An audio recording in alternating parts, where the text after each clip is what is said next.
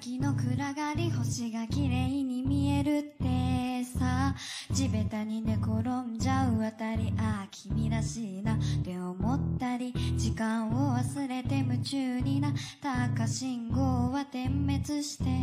る。肌寒くなり始めた季節に僕らは初めて手をつないだ。二人の物語。一つの傘を差したりブランコに乗り星を眺めたり星ボタン式の信号機をいつも君が走って押すくだり仰向けになってみた湖中に浮いてるみたいって。さあはしゃいでる君とその横